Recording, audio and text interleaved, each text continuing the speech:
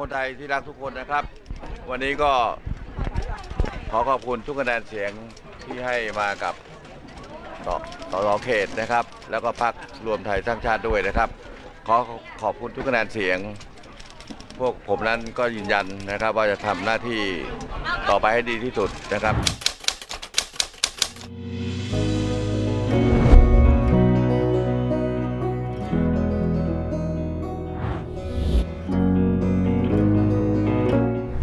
รักทุกคนนะครับ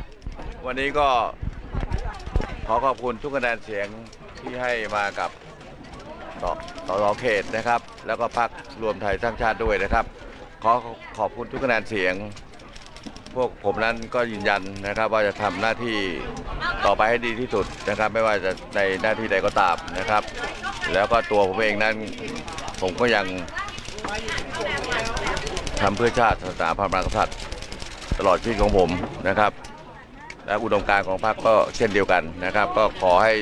บ้านเมืองสงบเรียบร้อยนะมีความเจริญก้าวหน้าก็แล้วกันนะวันนี้เคารพในในวิถีประชาธิปไตยในการเลือกตั้ง ขอบคุณครับต้อนรับต้อนรับขอทางนะครับ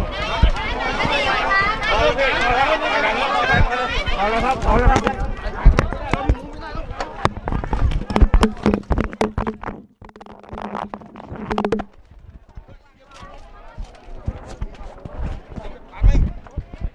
tải tải